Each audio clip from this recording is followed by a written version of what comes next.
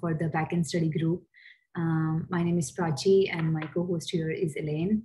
Um, just the, if you look at the screen, these are just like some uh, some instructions for you to uh, to attend this meetup, the Zoom meeting.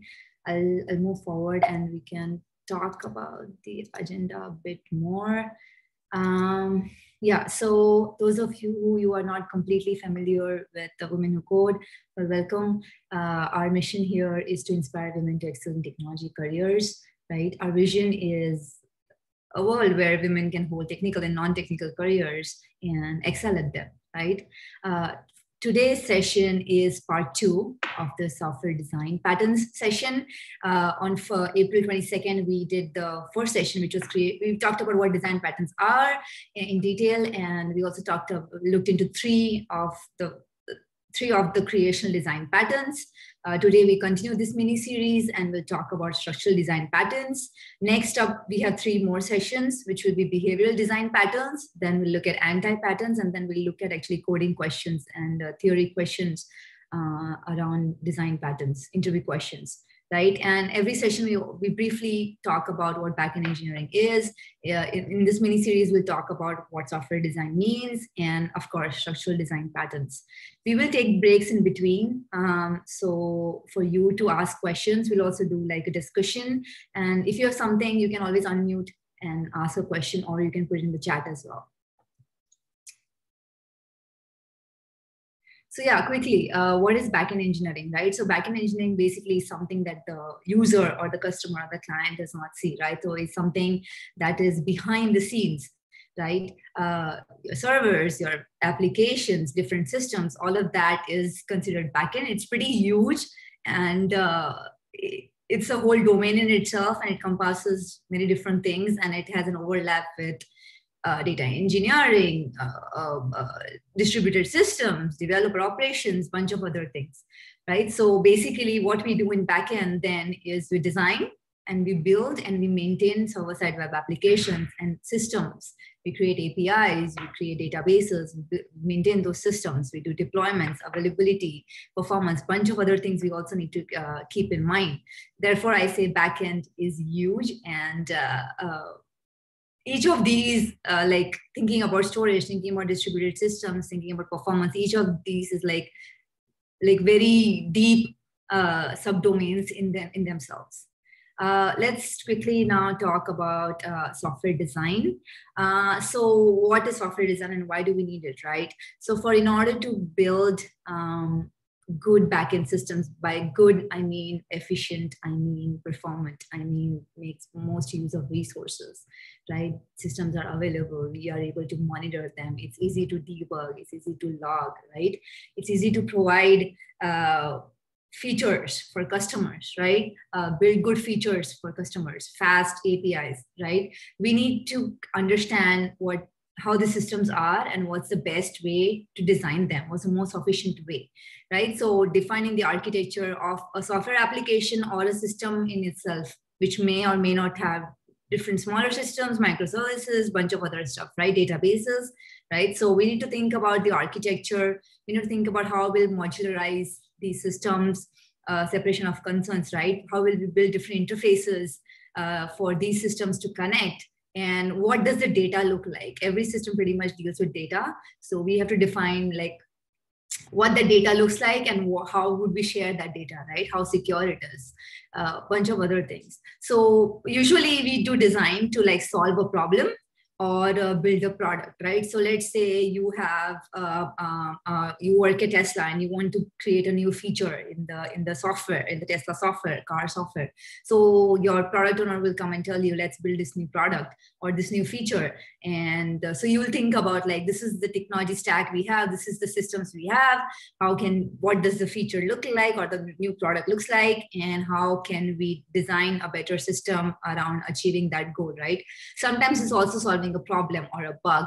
Uh, you build something, now you need to scale it. You can't scale it. So that's a problem. Now you need to, again, maybe redefine the architecture or make some changes in your system design to make sure that this problem of scalability is now solved right? It's supported. Your systems can now scale. How would you want to do that?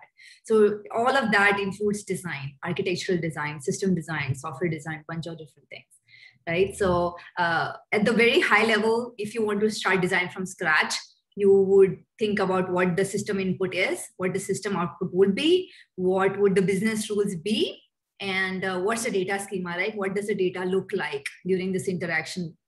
What does my input data look like? What does my output data look like right? If i'm processing my data using the business rules what does that look like? How am i storing the data? How am i securing the data? So these are some very basic uh, uh, concepts that you need to think about when you think about like design software design in general right? Today we'll look at some of the design patterns that solve these common problems. So uh, design patterns are basically there. They are you can consider them as templates. They give us some basic uh, template or some basic solution to common design problems we know uh, in the software world. Uh, so these are some templates you can begin with. They may or may not exactly solve your problem, but they can act as something which is very basic, which you can build on top to actually solve your problem or build that feature, right? So these they are more like references. Um, um, when you also think about like design, there are uh, you can break it down into three types too, like uh, UI design. UI here is user interface, right? So how does your data look like? If you have a website or a mobile app, uh, what data you show on your website may look slightly different from what you show on the mobile app because the screen is small. There's only limited content you can show, and you don't want to uh, uh, disturb the user by showing a lot of information, right? So your data visualization and presentation will look slightly different given these devices, right? So you need to understand what that user interface design and experience looks like.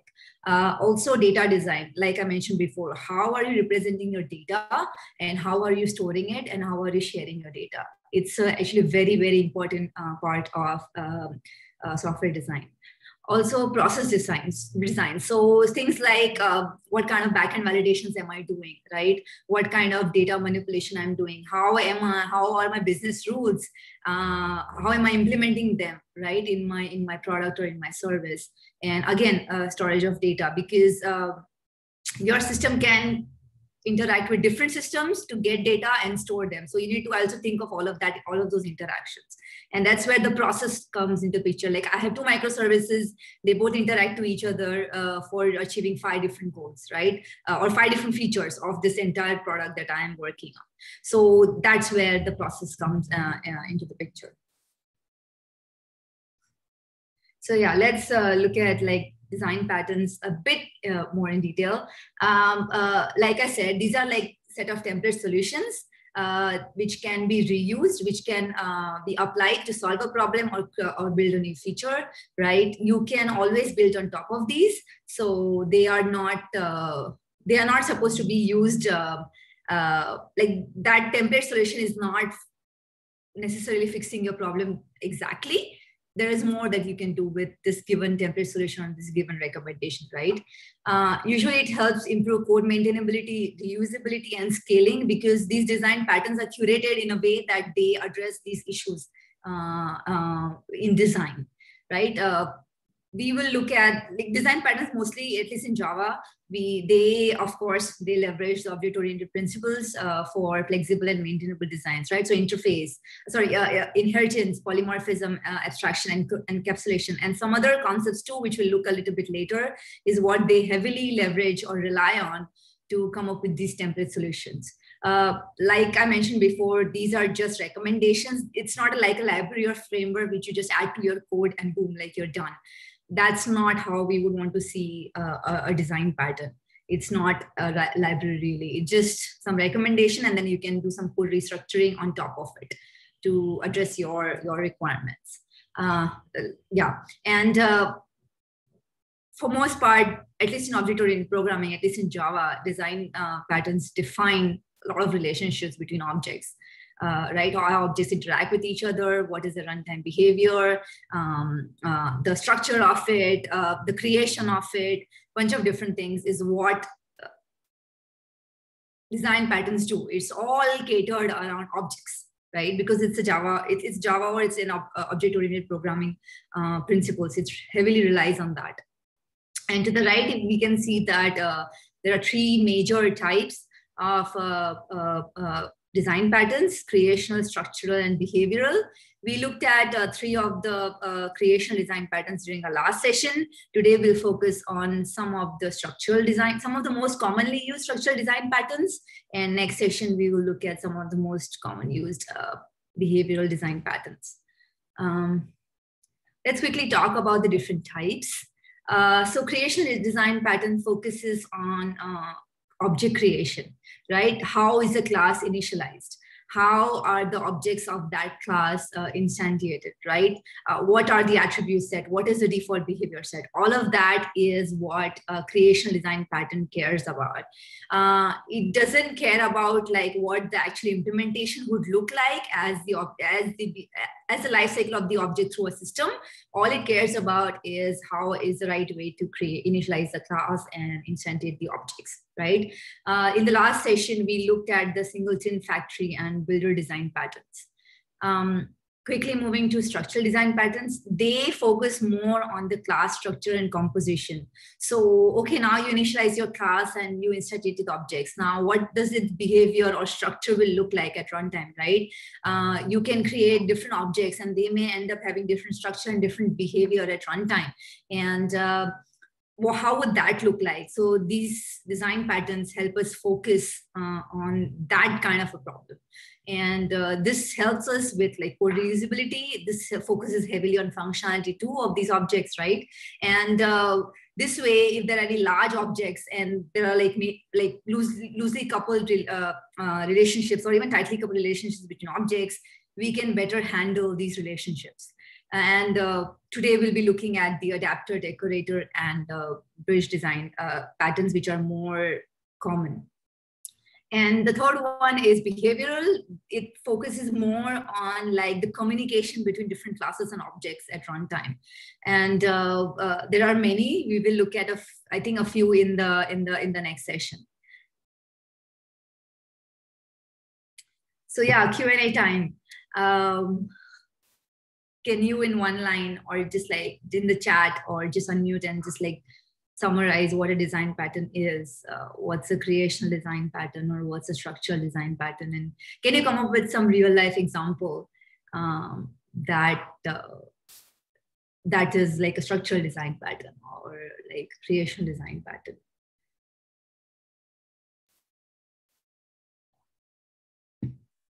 Feel free to unmute or put in the chat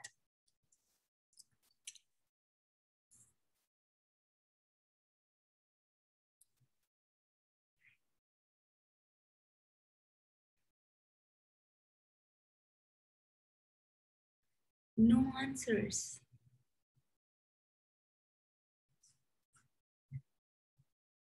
Creations focused on object creations in factory. Yeah. Design patterns are, yeah, Anjana, you're right. Uh, Ellie, Elizabeth, um, are reusable designs for common problems? Yes, that's correct. Um, certain, like if, if, if you want to solve a problem of what's the best way to create objects or best way to sort of best way to instantiate objects or best way to initialize your classes then you can refer to one or two of the uh, creation design patterns as a template solution and that should solve your problem so you don't have to come up with your own design of how to do it there is already a design pattern and you can totally leverage it and I think Python also has design patterns. Uh, they are somewhat similar. Some some of them are different. Uh, even with .NET, uh, some of them are different. And uh, uh, most of them, though, it's also object-oriented programming with .NET, so uh, with C Sharp. So most of the design patterns are similar. Creational pattern example catalog. Oh, how, how can you create like a catalog, different catalogs?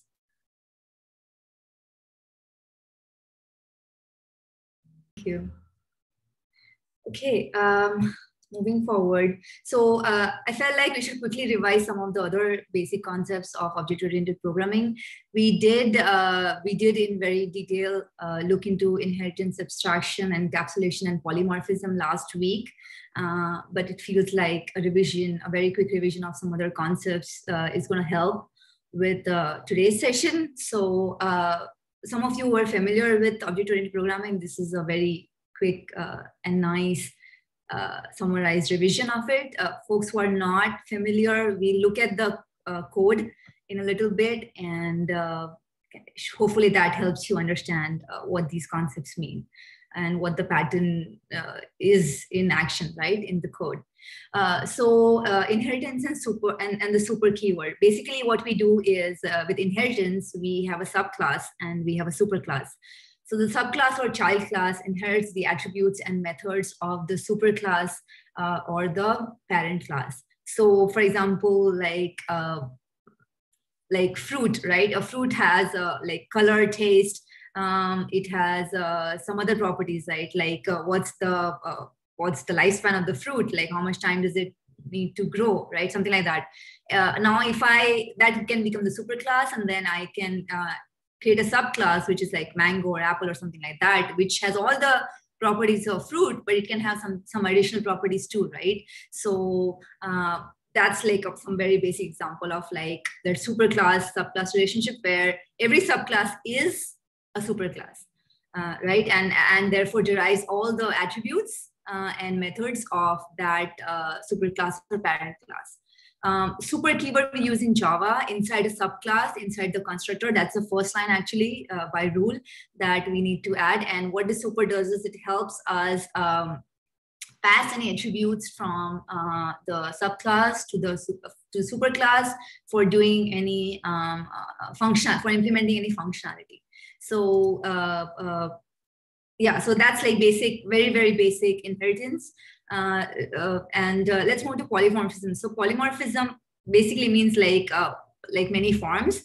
And what we do is we have the same method but different behavior. Now polymorphism is broken down into two different types. Uh, we do uh, overloading and overriding. Overloading means um, in the same class, you have uh, you have like let's say two or three different methods of the same name, but the parameters would be different. So let's say I have uh, uh, in the in the fruit class, like I have um, uh, maybe that's not the best example. let's say I have a class where I have a method called get name, right?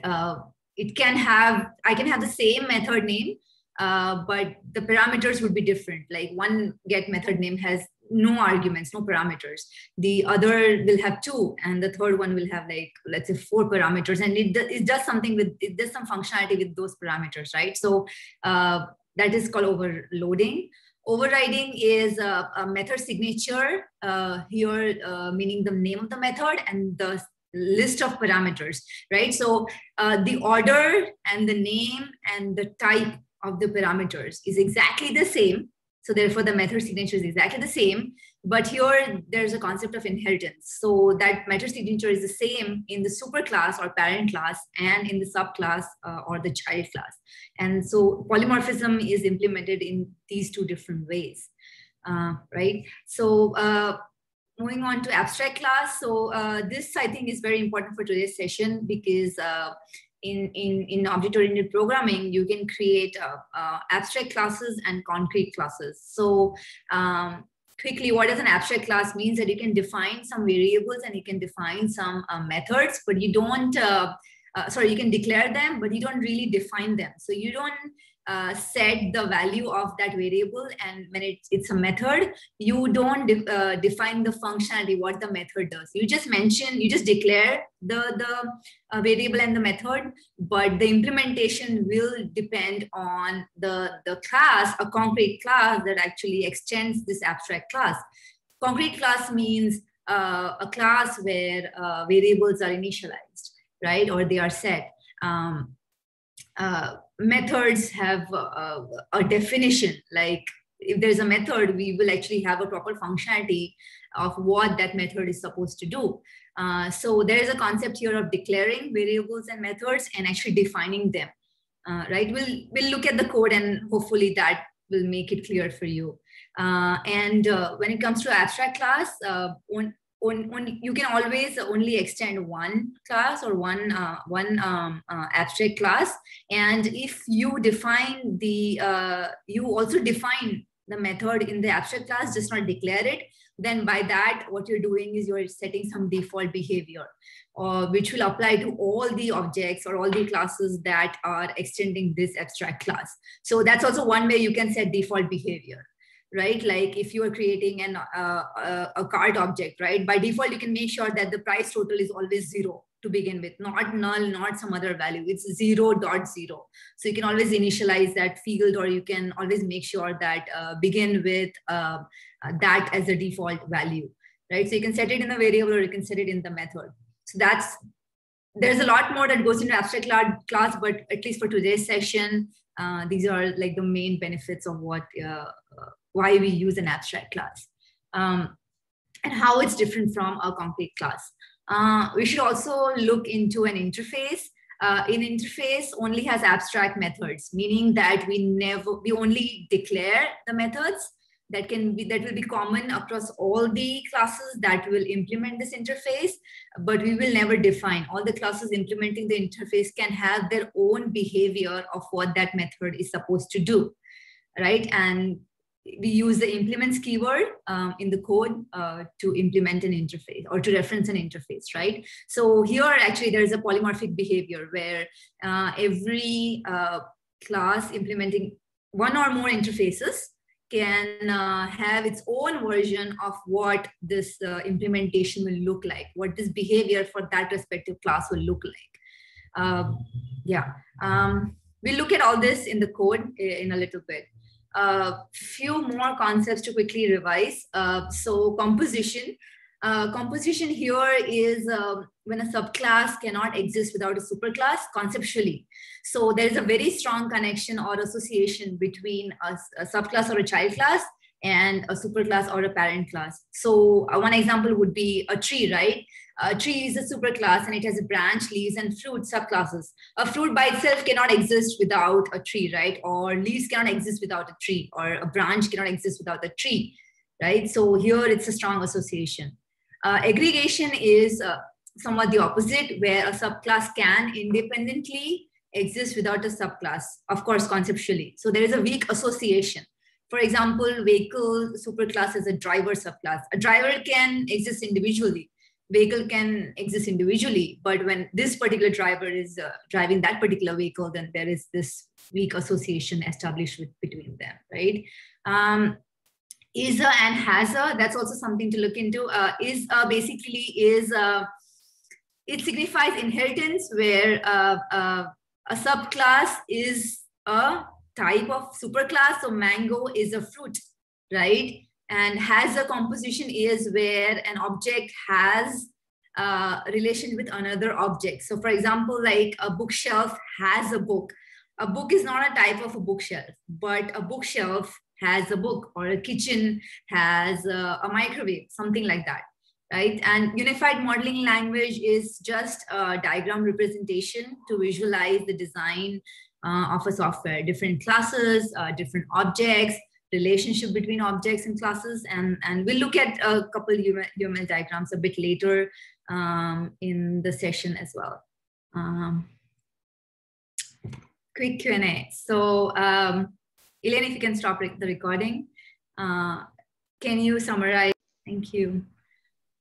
Um, yeah, okay, so structural design patterns. So today we'll look at adapter, bridge, and decorator design patterns. Uh, they are most widely used. So let's try to understand what these mean and why they exist, right? So uh, with adapter design pattern, basically what this helps us is it helps us uh, uh, wrap objects so that their implementation is not visible and uh, two different objects or two incompatible objects can now, given your system, they can still interact, right? So uh, an object adapts to the interface of another object and therefore they can now interact and share data right what this helps us is reusability so let's say if i have a third kind of object which is incompatible from the two objects that i already have in my system all i need is an interface to connect them and now i can just share uh, data with all these incompatible objects right? I can have relationship with these objects in my system right? For for for data flow for for uh, object behavior right? So what this does is it separates the interface uh, from the business logic.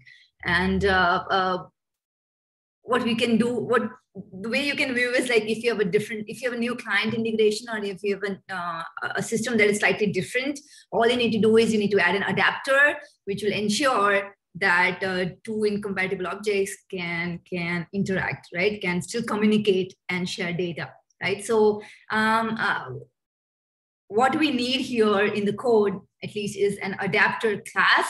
And uh, what that does is uh, um, it it an adapter it what it does is ensures that there is like two different interfaces for these two different incompatible uh, um, object types and it wraps them. So how that object implements certain methods and, and how that object actually processes data we don't care about them. Or that all we care about is like how ensuring that this data between two objects is shared. And uh, we'll use like interface and like adapter methods to to to uh, to implement like the structural design pattern in the code. So if, if you see to the right, there are like two uh, diagrams. Uh, the first one is what uh, we have in the code. Like, let's say we have a class that uh, gives us some health metrics data, right? Now, let's say we want that for Apple Watch and Fitbit. Then we can we these are very two in compare different objects, and they the way they store the, the way they have the data schema and the way they calculate like health data is different and we still want uh, this one class where given whatever the the type of uh, uh, uh, device here is, it will still give us health data. It will still give us my account details for, for the respective uh, um, uh, devices here, right? So that's what the adapter helps us do. Um, and the second example here is um, basically like you have uh, two different APIs. Uh, one deals with XML and one deals with JSON. Your service st still should be able to interact with these two different APIs to get the right data, right? So your service at the at the API integration level will have different adapters to make sure that uh, whatever the type of response you get, it can adapt to it and it can still uh, map the data. So let's look at uh, the code example quickly. Um, Let's see if I can share my IDE. Can you see my screen? Yes. Okay. okay. Is the font okay or should I increase it a bit? It's good. Okay.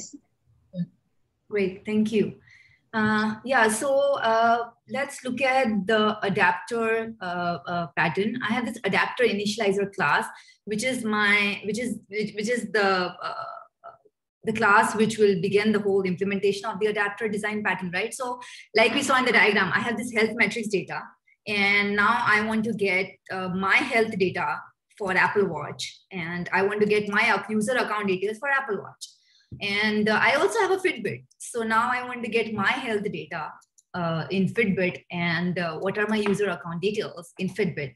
Now, how am I supposed to implement this, right? So what we do is um, at the at the very beginning, let's let's step down a bit. What I have done is I've first and foremost defined enums, right? Fitbit, Apple Watch. Tomorrow, if I have Alexa, I will just add Alexa here, right? And and boom, I'm done right? So I can add more clients, different kinds of objects here that I want and uh, make sure that I, am still able to get the health data. I'm still able to get uh, my user account details, right? It can be any, any other device in the future. I still be, should be, my application still should be able to get me this, uh, uh this data, right? So um, gosh, there's a presentation mode. Yeah, okay, thank you. Uh, is this better? Um, let's see. So what I'm doing is, uh, let's look at the Apple Watch and Fitbit class first, right? What do they do? So uh, I have two variables here, uh, which store the health data and the user account details. Uh, for now, I have just like uh, set them at the constructor. Uh, so it's easy for me to implement the this adapter pattern. So every time I, I get the health data, this is what I'm gonna get. And I have like the getter and uh, setter methods. And i have this like get health data for apple watch and get account details for apple watch which are right now it's just printing uh, what i what my details are and it's returning these fields right? So it's very basic very simple class uh, here. Uh, similar with Fitbit, that's what I'm doing. I'm setting my health data and account details, and this get health data method for Fitbit and uh, the account details for Fitbit just returns, uh, just logs this and uh, just uh, returns my, uh, my account details and health data, which I have set in the constructor, right? So these two classes are very simple. We can now look at the, um, let's look at the media interface. Um, and get after. Yeah. So here, what I'm doing is, uh, no matter what my device is, I want to get health data from it, and I want to get user account data from it. So what I've done is I've created this interface, which has uh, where I have uh, declared these two methods, and any any media type, Apple Watch, Alexa, let's say Fitbit, some other health device, whatever the device is, they will all of them will have these functionalities because that is what my my uh, domain here is or that is what my feature here is. No matter what the device is we should be able to get the health data and we should be able to get the user account details right? So this is some shared functionality across all media types. So interface helps me uh, just declare uh, the shared functionality and every media type media type being fitbit or apple watch will uh, implement this separately. So get health data will look um, here, will look different for Apple Watch and will look different for Fitbit. So what I have now done is I have this adapter class. Uh, and this is what the, the magic here is. What my adapter class does is it implements this media interface. So it ensures that whatever the media is, we will provide uh, the functionality to get the health data and get the account user details, right? So we are ensuring here by implementing this interface that the behavior across any media type or across any device uh, will be similar, right? Because that's what we want. Um, so what here we are doing is uh, basically, um, this is a constructor basically, but like what we are doing is given a media type, uh, you return me uh, an object which is either a new Apple Watch or a new Fitbit, right? So what I'm doing is I'm setting this field, uh, advanced media type here is just another interface which will uh, help me with uh, adding more functionality than, than what I already have. So what I've done is like this advanced media here ensures that it, it breaks down that given uh, a media type, this is exactly what the method should be. So when my, my app at the front end is only uh, uh, cares about get me the health data. But this is what the implementation behind the scenes is. Do you want the health data for Apple Watch or for Fitbit? And this is where we define the code implementation uh, of what these exact methods look like. So this becomes your, this interface uh, uh, ensures that uh, what exactly the implementation methods are across your different media types. If I had Alexa here, then I would have two different methods added, which would be very specific to Alexa right? So this is what uh, this interface is actually doing. So when I look at the advanced media, so what I'm setting is given a media type, I'm going to create a, a new instance of that media, right? And uh, based on that uh, media type, what I'm doing is I'm ca calling either, if it's an Apple Watch, then I'm going to uh, uh, call the Apple Watch health data. If it's a Fitbit, then this is the health data which is a method at the at the first layer right? You don't know what that implementation looks like. You all you care about is you're getting the health data and you are mentioning that get me the health data for apple watch. But how is it implemented actually? Like uh, how do you ensure in the backend that i need to integrate with fitbit to do this or i need to integrate with apple watch to do this? And how do the methods and and the data points look like right? So based on the type i'm ensuring that you get the health data for apple watch because how they calculate this is different versus the whole integration with Apple Watch is different than what the integration for Fitbit would be. So Get Health ensures, given a media type or device, what's the right integration to do, right? What's the right object to, uh, uh, what's the right method here, functionality to initialize to get the health data, right? So this is the power here, like given a media type, uh, the interface, uh, using the interface uh, and the adapter, you know what exactly the method to call. And same with user account. If it's an Apple Watch, then call user account details for Apple Watch. Uh, if it's Fitbit, then you call that method. Now let's see how this is um, how this is implemented. So here, so if you look at uh, the interface, right? Um, yeah. So what? So now you see, right?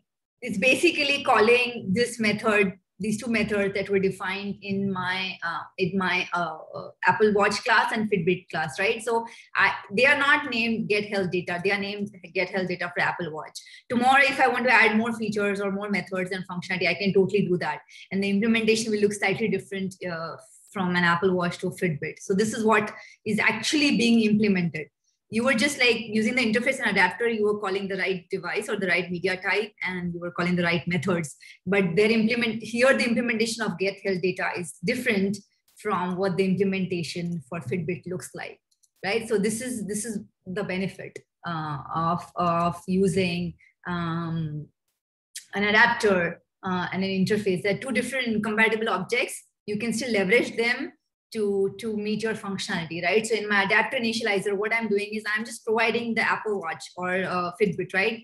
So if i click on get health what it's doing is depending on the uh, on the type uh, it's calling uh, the get using the media adapter it's calling the uh, get health method which is basically at this point in this flow that i shared it's calling the apple watch. And if you see this is how it's implemented so it's going to print this so tomorrow, if I have to add new media type, just I have to update the enum and I have to update the interfaces only if I have more functionality. Otherwise, just uh, uh, add an enum here, create a new class for like if we have a class for Fitbit, we have a class for Apple Watch, create a new class for some other device and uh, implement these methods, right? Because that's the functionality you want and just and, and just define what these methods are actually supposed to do.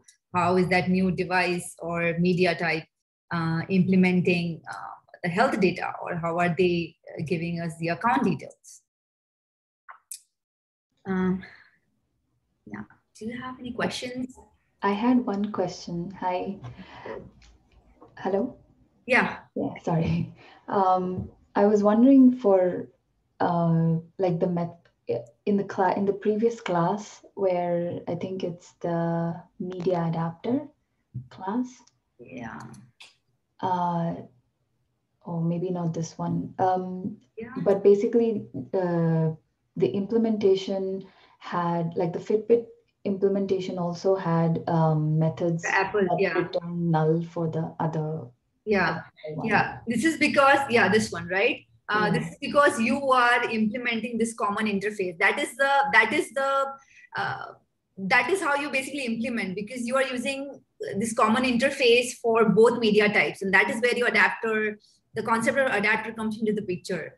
What you do is you because you because these are the rules of interface you need to define you need to override these methods too but you're not doing anything fitbit related here. So they will always return null because these methods will never be called similar with fitbit because you are implementing that interface by the rules of uh, uh, interfaces you will need to uh, implement all the methods, right? You override all the methods, but because uh, this is not related to Fitbit at all, therefore you return a null. And this method will never conceptually be called in the realm of Fitbit, right? In this example, yeah. So that's a good observation, but that's how uh, it's implemented. Good question, Shilpa. Thank you. Yeah. And in the future, if I had, let's say, Alexa, then I'll have these two methods for Alexa too. But in, in Apple Watch and Fitbit, they'll be set to no because that's not the realm of Alexa, right? These classes are not. Um, here are the rules of uh, uh, uh, interface apply in the language. Yeah. Okay. Uh, uh, hey, uh, Prachi, I have one question.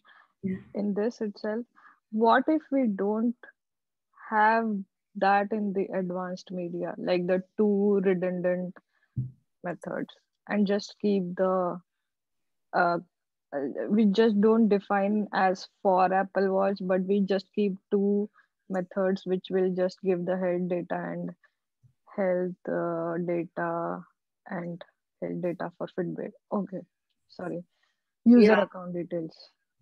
Yeah, the problem with that is like couple things, right?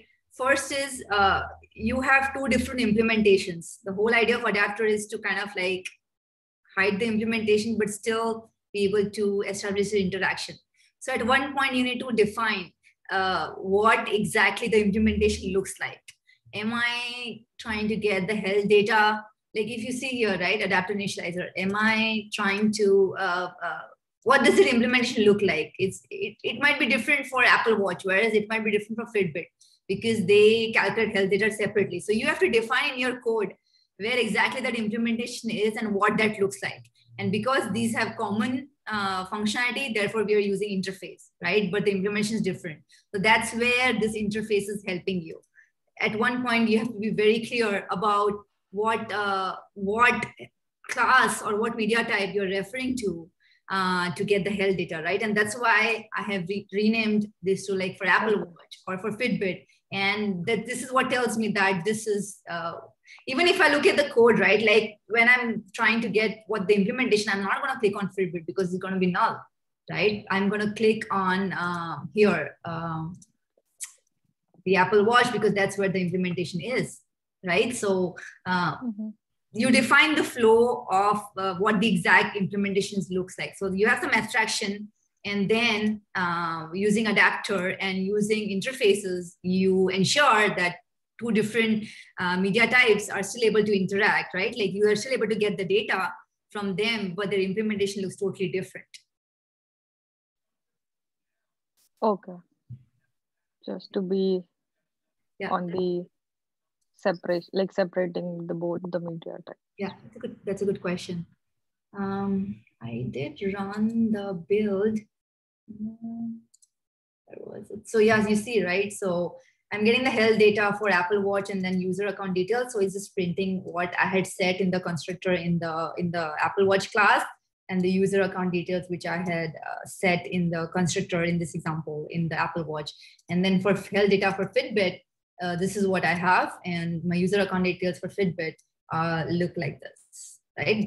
The data is different. Here it's username, it's it's first name. That's what Fitbit returns.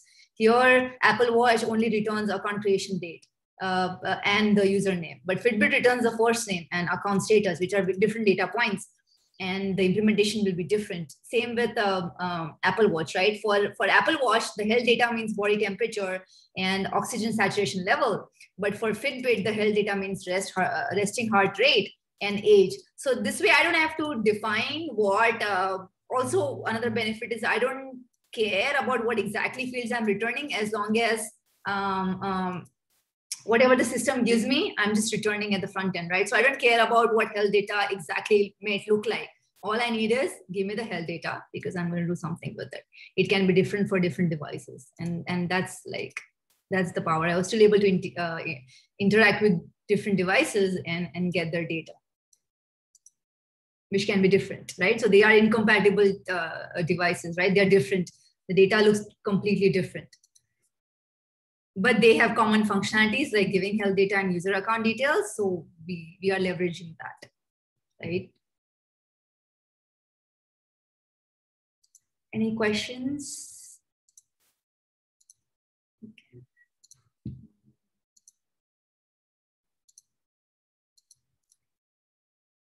We can move on to the Q&A uh, of, of what do you understand by adapter pattern and if there are any real life examples that come to your mind?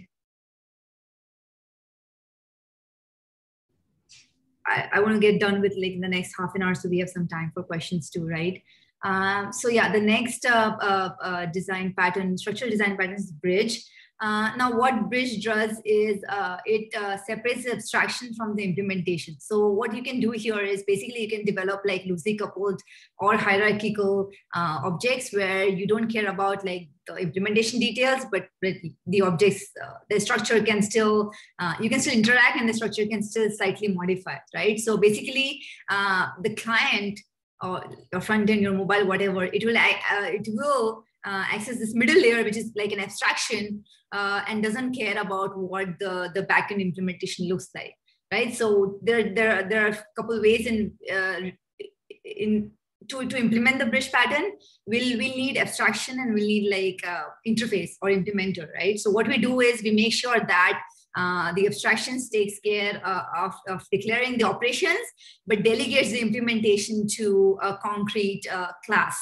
right? Which will actually, uh, remember I said declare and define, which will actually define what uh, the implementation should look like for that given concrete class.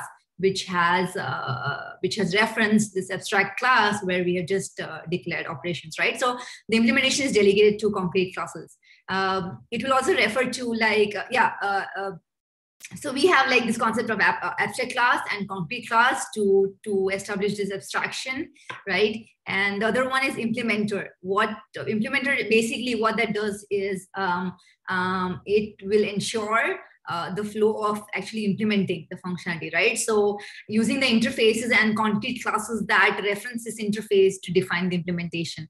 And that's what, uh, uh, so using an abstraction and uh, so an abstract class and an interface is how we will achieve the bridge design pattern. So one real life example can be like a Lyft app, right? It has like a driver login and a rider login. We don't care about what uh, what the flow of driver or rider is, right? But if I'm a driver, you should make sure that I, I am able to log in using the driver credentials. And if for a rider, then I'm able to log into rider credentials. Uh, both driver and rider objects may have some common functionality like first name, last name, address, age, date of birth, I don't know, license number, maybe not license number, but some common fields. But uh, other fields might be slightly different depending on what that domain object looks like, and the methods for implementation will also be different. So uh, one example here is this UML diagram where we have like an abstract class uh, which is uh, just declares the functionality, and then like a concrete class which will which will define uh, what this abstraction should look like, and there's also an interface which will define common functionalities and um, a more concrete implementation of uh, given different objects, what does that implementation should look like? Um, so let's um, look at the code.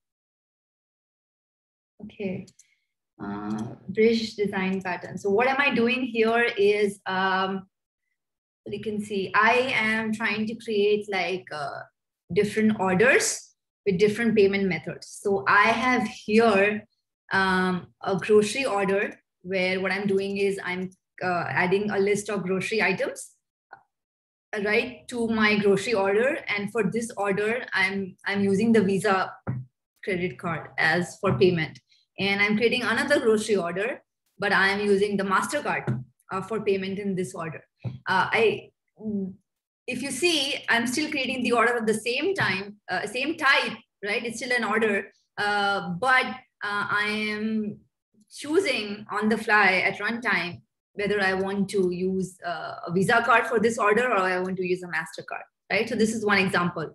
The other is I'm creating a different kind of order. Now here it's a restaurant order and I'm adding like uh, a list of uh, items from the menu at this restaurant. And for the first order, I'm using a Visa card. And for the second order, I'm using a MasterCard right so uh, how is how can we ensure that in runtime you can specify what this uh, what this uh, uh, uh payment should payment uh, should be right so if we look at the um, if we look at the order class let's look at the order class first so this is our abstract class right this is where the abstraction is so what here i'm defining is that you can create any kind of order. It's an abstract class, right? So um, I am declaring two methods here. One is add items. In the case of a grocery order, uh, my items will look slightly different, right? Uh, and in the case conceptually, and in the case of a restaurant order, I can still add items, but conceptually the list will be different, right? So for, for any order, I should always be able to add items how am I adding items? What are the items can look different, right? So declaring it here and restaurant class and or a grocery order class will define what that looks like. And then I should be also be able to calculate the order total, right? So I have five items added to my order. Uh, how this is calculated in the grocery order versus how it's calculated in the restaurant order can be different, right? Restaurant order can apply discounts, whereas grocery order does not necessarily apply discounts. It has some points that's what it's applied. So the way we are calculating the order total can be different depending on the type of the order, right? And here what I have done is I have used like, I have used this payment interface, which on the fly helps me determine what the payment uh, method I want to use. So I'm ensuring that whatever the order type is, uh, it should have a payment And uh, so whenever you create a, con- so this is the constructor of this uh, order class, uh, because it's an abstract class, it, it can have a constructor, right? So um, I'm ensuring that any order, you should always define what the payment should be for that order, right? So if you look, so this is your abstract class. And if you look at the interface, the interface here is the payment. And uh, what I'm doing is here is just returning the name of the payment, Visa or MasterCard. It can have some different other methods too, right? Like uh, uh, validating the payment method or validating the payment type or validating the, the, the credentials, right? Validating the card. So a bunch of other stuff, right? So if it's a gift card, then if you also want to do that, uh, validate the card. So right now at very basic, I'm just like declaring the payment type uh, and uh, whatever uh, class implements this interface will set the payment type. So if you look at uh, payment, right, it's um, here. So I've created two payment types. One is the Visa card and the other is MasterCard. What I'm doing is I have this payment type variable and I'm just setting it to Visa and, and I'm returning it on the payment. So if you see, I have overridden the payment type method from uh, the payment interface here. For a Visa card, that's what my payment type is. For a MasterCard, it's implementing the payment interface. So I have to override the payment type method and I'm setting it to the MasterCard. So that's like the power of interface here, right? So uh, together with abstract and uh, abstract class, uh, the order class and, uh, and the interface payment, I can on the fly decide what my order type is and what my payment for that order will be right? Uh, given just limited examples here, just two types of uh, orders and two types of uh, payment uh, types or payment methods, right? So if we look at the grocery order class, uh, it's fairly simple. We have a list of items uh, because um, grocery order extends the abstract class order and that ensures via the constructor that you have to define a payment type. Therefore, in my grocery order class, I have to declare a constructor and I have to set the payment type. And this is super. So this will set the payment type here in my uh, super class, which is the order class, the order abstract class in this example, right? So every time I create a grocery order, I have to define what the payment looks like. So this is referencing uh, the payment interface here and via um, the extends keyword here and via super, it's, uh, it's sharing this payment information with my uh, super super class, which is order in this case, right? So I have these uh, uh, uh because order uh, abstract class, ha class had add items and calculate order. I have to implement them. So if I look at um, uh, the grocery order class, all it's doing is given a list of items, is going to set it and calculating the order. So from this map, where double is the, the price of the order and string is the name of the item, right? Sorry, uh, the price of the item and the name of the item. What, you know, what it's going to do is like, it's going to add all, in for all the items in the list, it's going to just add all the price. Uh, price and return that total price, right? And it's just going to print that price. It's very simple. Similar with restaurant order, what it does is it again has the power to set the payment because it's extending the order. Um, um, it's in the order abstract class and that uh, references the payment interface, right? And then this is similar, just set the items uh, for the order and uh, given uh, the list of items, calculate their price to uh, add all the all the uh, price for each item and just print and return the total, right? So it's very simple. Now, if you look at the bridge initializer, so now what I have done is I'm creating a list of grocery order items it's a very simple method. What I'm doing is in this map, I'm adding the price, double, and I'm adding like milk cheddar. So my grocery list consists of milk cheddar, cheese, avocado, mint leaves. And for restaurant order, I have, uh, this is my restaurant order from McDonald's. I'm ordering these five things, right? So I create my, I create my uh, uh, item list and I'm creating a grocery order with Visa so I'm creating a new grocery order and setting the new Visa uh, credit card, right? So what this does is in the constructor, right? So it's going to set um, the type to Visa uh, uh, for us. And uh, I'm creating another grocery order with MasterCard. Same with a restaurant order. I'm creating two orders with two different type of payment methods, right? And now if I want to see this in action, what I'm going to do is uh, I, I, want to see the total, right? So I'm just going to calculate uh, for each of these orders. I'm just going to calculate the uh, order total, right? It's going to print that. And I also want to just print what my payment type was. So I'm clear, I'm straight up referencing that uh, uh, order class. And then in the payment, I'm just looking at the payment type, right? Because if you see here, the order class has that payment field, it has that variable. So I can um, directly access that variable and print the payment type from it. So if I run this code, um, let's see. Should take a little bit of time.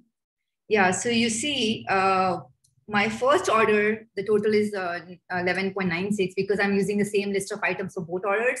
But my payment type here is Visa, whereas for my second grocery order, the payment type is MasterCard, right? Uh, I also have a restaurant order and the total for all the all the stuff that I ordered from McDonald's is 54.95. But for the first order, I use Visa, and for the second order, I used a Mastercard. So using an adapter and an interface, you can actually uh, determine what the uh, different type of orders would be and what the different kinds of payments you want for these different orders.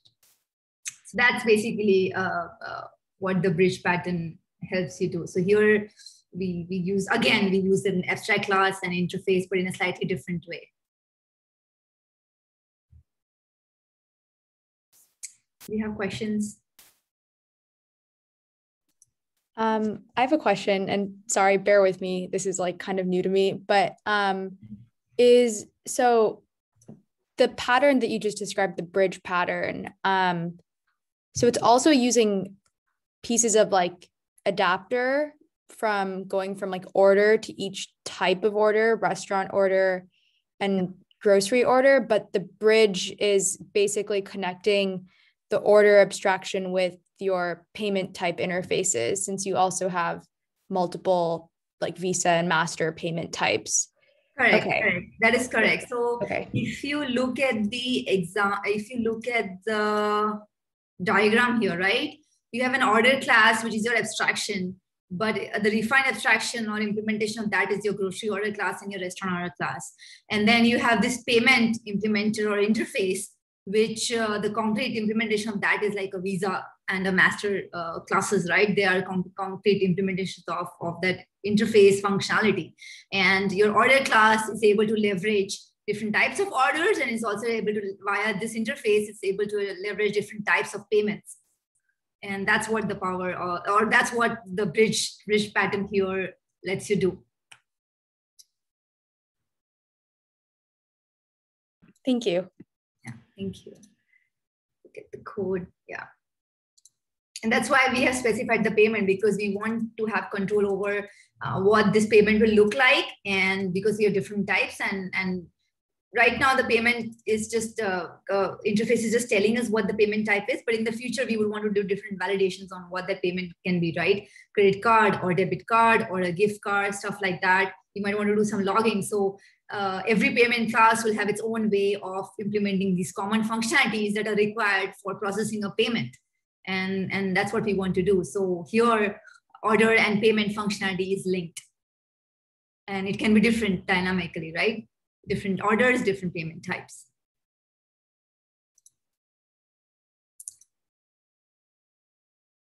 If we move to the presentation, uh, any questions about the bridge pattern?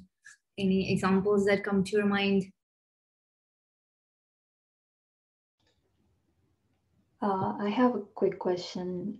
Is there any uh, other example that that would kind of um, demonstrate the same thing. I'm still trying to understand the difference between adapter and bridge pattern.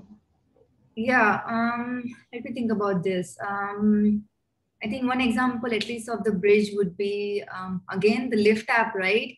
Like uh, uh, the login uh, for a driver and a rider can be similar right? That functionality can be implemented through an interface.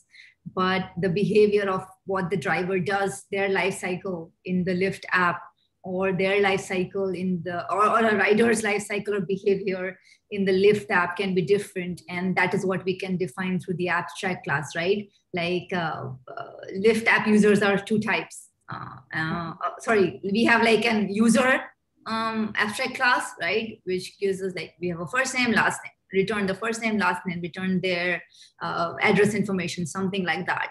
Uh, that's common functionality across any type of user. So the, that is something that we can also do. But like the behavior of driver versus rider can be different and we can have more control over that as well from uh, uh, the abstract class. So it's like two different functionalities, right? Like maintaining the order in, in that example is a different life cycle, which, which abstract class has more power over, or more control over. Whereas uh, some other piece of the functionality, which is payments, uh, it's pretty structured, it's pretty standard. So we can just set it out and here is this different type of payments. But but the, the implementation, uh, the functionality can be the same for any payment type.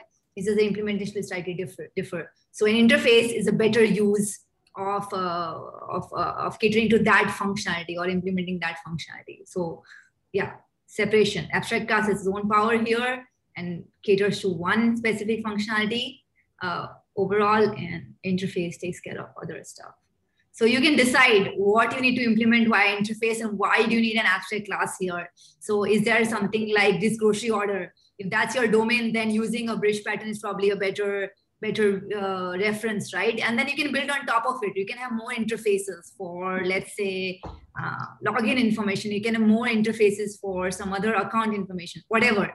Uh, you may not need, uh, you may only need one abstract class to manage the life cycle, but uh, uh, you can have many different implementations to manage bits and pieces of this functionality, right?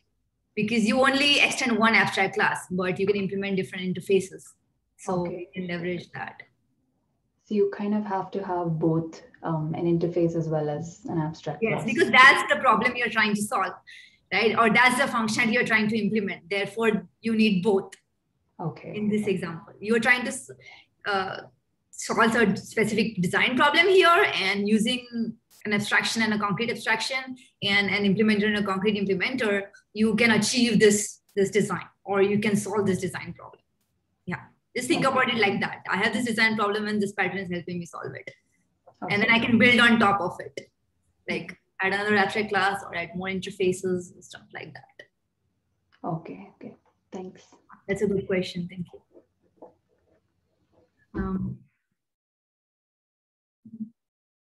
I think we can move on to the third and the last uh, uh, uh, structural design pattern, which is decorator. Uh, decorator is uh, fairly simple. What we want to do here is we want to decorate objects. Okay, think about it like that. So at runtime, we want to modify what that object's behavior and structure, uh, to some extent structure may look like, right? So it does not uh, affect the object instance. So it's not, I'm not modifying the class or uh, uh, uh at, at uh, on runtime. I'm only making sure that given one class, and three objects that I created out of it, they will behave slightly different at runtime. And how they behave is what I want to define, right? That is what the decorator will help me do, right? So this this this removes the need for subclassing because if you think about it, like uh, let's say um, um, uh, the example I'm going to use is like I have an apartment and uh, uh, I can use inheritance to define one bedroom apartment, studio apartment, and two bedroom apartment. And I can uh, where apartment is my super class and uh, these three types of apartments are subclasses. And uh, i can have uh, uh common methods common functionalities but then i have this association uh, strong or weak association with uh, with the with this super class right? And i don't want to do inheritance. I want to leverage the power of interfaces and, and abstract class here to to establish this relationship. So what i can do is um, rather than defining the subclassing, superclassing, I can just uh, make sure that using abstract classes and interfaces, uh, whatever objects I create at runtime, they look slightly different. So I don't care about uh, inheritance at, uh, uh, in, in, this case. And this just helps uh, us to make the code more extensible and easy to maintain because again if i have another type of apartment then i have to do the whole inheritance and and, and follow all the rules of superclass and subclass but with uh, this uh, with with the decorator pattern all i need to care about is okay this is my class and this is how it's going to behave on runtime right so uh, that's that's the power of decorator class. What we do is we basically encapsulate the concrete class to to provide like a modified functionality. And uh, what it does is it wraps or links to a target class. So we have this target class, which is something basic. That is some basic behavior that applies to all um, all the classes, uh, right? But um, there's different, uh, all the objects, right? Um, which reference to this target class, but uh, these different objects that are created will have their own different functionality too, or their own different behavior too, on top of what this base or target class uh, is providing, right? So um, yeah and we do that using like uh, an interface. So one example is like the uh, the file reader classes in, in java io right? Uh, the file reader classes can like read from a file read from a buffer. Like there are different implementations of it. And this is like one good example where it's not inheritance but uh, it's just uh, depending on the type of file uh, you've provided uh, it will uh, it will still have the same functionality and operations on on what that file is. So it can still read the file or, or the content right? So we'll we'll revisit this diagram uh, once we we look at the code. Um, so let me quickly switch. Um, can you see my screen? Mm-hmm. okay. Thank you. Um, so here, decorator. So let's begin with decorator initializer. So what I'm doing is I have this uh, apartment class, which uh, which is everything that qualifies for what an apartment should look like, let's say, right? Or what defines an apartment. Okay, so that's what my apartment class cares about. And now I have a studio, right? Which is like, yes, it's kind of an apartment, but uh, a studio will have some other functionality. I want to decorate my studio with some other stuff that a basic apartment never has, right? So what I'm going to do is uh, I create like a, a studio class, right? And uh, uh, so new simple apartment. I'll I'll, uh, I'll we'll look look at look at the implementation a little bit more. But I have this very basic apartment, and then I have the simple apartment class, which is something additional that uh, defines what uh, a simple apartment setup looks like. Okay, so any uh, studio apartment or one bedroom apartment that I care about uh, qualifies as an apartment and it, it, has some basic furnishing, basic simple apartment furnishing already done for me. Okay, and uh, when I move in, what I'm doing is I'm decorating my studio with a television and a desk now, right? So that's what I'm doing. Now I have this other type of apartment, which is one bedroom apartment. It technically qualifies as an apartment, right? And it has a simple apartment. So here it is furnished with some basic furniture the that that is provided for any kind of apartments studio or one bedroom in that that community let's say right? So it's basically it is it it has some basic furnishing. And when i move in now i'm going to decorate my one bedroom apartment with a bookshelf and paintings. So now how am i able to do that? So if you see it's still an apartment but um, here i have a studio and it on runtime it looks different right? I have decorated with different stuff and here i have a one bedroom apartment but it looks very different. So I've decorated it with different, uh, different, uh, different paint, like different uh, furniture, like paintings or bookshelves, right? So this is what I can do.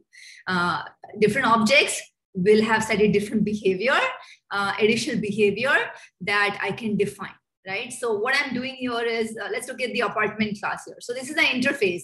So what my apartment class does is it, it lets you decorate it. So whatever kind of apartment you have, you have the power to decorate and what you will decorate is you will decorate uh, it with a list of items that you want. And string name here is just to specify what that apartment name is, right? We'll, we'll look at the code and you'll understand. So any apartment you should be able to decorate. Okay. Uh, now let's look at a simple apartment. So simple apartment implements this interface.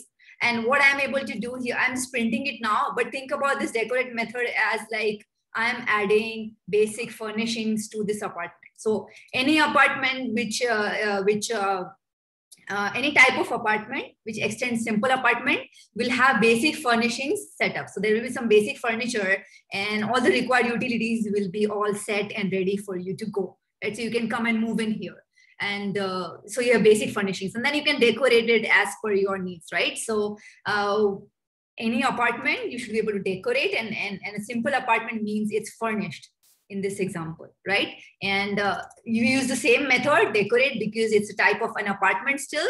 So using the decorate uh, method here, you, you overrode uh, it and you are setting up uh, uh, some simple furnishings and, and ensuring all the utilities are, are connected, right?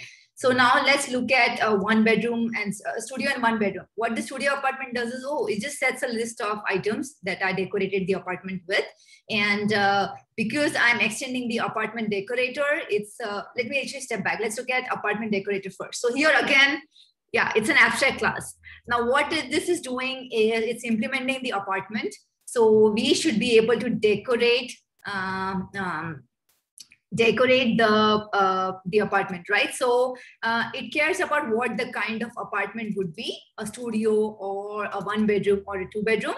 That's what you said in the constructor right? And given the uh, apartment what it's going to do is it's going to decorate it. So given the type of apartment and given the list of items you give it it's going to decorate that respective apartment with that list of items. So this is what the adapter uh, the sorry this is what like uh, a decorator you can call it an adapter too but like this is what a decorator helps us do is uh, given a type of apartment you can decorate it uh, as you feel like. You can add any list of items right? So um, if you look at the studio um, class it's uh, it's extending that abstract class right? So now we can set in that abstract class now we can set the kind of apartment we want right? So it will be a studio in this case. So using the super you're setting that apartment. And because it's set at this field, it's going to call the respective decorate method. So in case of studio, it's going to call the decorate method of the studio class. And this is what it's to call.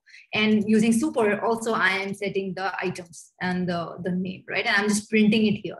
Same with one bedroom. Uh, it extends the apartment decorator. So you set the type of apartment and the decorator will make sure that it's calling the exact um, um, uh, decorate item when you are trying to add this new uh, uh, this list of uh, decorations or furniture to your one bedroom apartment right so yeah um, if we look at the decorator initialize a class so what i did was i created my list of furniture I created uh, an apartment, which is studio. I initialized this to be a new studio apartment, and I'm ensuring that uh, this studio apartment has some basic furnishings. And once these basic furnishings are done, then I'm decorating it with a television and a desk, right? And this name is just for printing purposes, which you'll see. So I'm just setting it as studio. And same with one bedroom. It should be furnished at the very basic. It's an apartment, which I can decorate, right? Using the decorate method. And I'm ensuring that the simple apartment using the decorator method from the interface is able to do basic furnishings. And then I'm adding like a bookshelf and painting to this, uh, this, uh, this one bedroom apartment that I have. So all this behavior basically, if you see, is then same object type if you think about so, so, same class different objects different functionality different behavior right so we are decorating a studio we are ensuring that basic setup is done. And then I went ahead and I added a television and a desk. And then I uh, also got a one bedroom and then I ensured that basic furnishings are done. And then I also added like a bookshelf and a painting to my one bedroom apartment. So you are you able to like decorate your objects or change their, uh, so you're not really like, you're not adding like a bookshelf so if you look at one bedroom, right, you're not adding a field bookshelf, you're not adding a field paintings to it, you're not modifying the structure, but your uh, one bedroom apartment still uh, conceptually has uh, uh your uh, bookshelf and painting. These are not actually variables as a part of your class. You're not modifying the structure, but you are ensuring that the behavior of this object um, on runtime is different same with studio. Uh, you're not changing the type of, you're not changing the structure of studio, neither are you changing the structure of apartment to add a, a television and desk. But your studio still has television and desk, whatever you want to decorate that, that object with. Do we have any questions?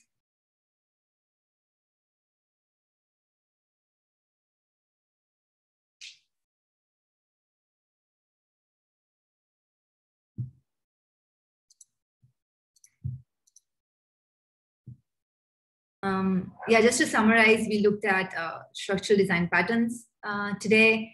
uh, where the focus was on the structure, was on the composition, and also somewhat on the behavior too.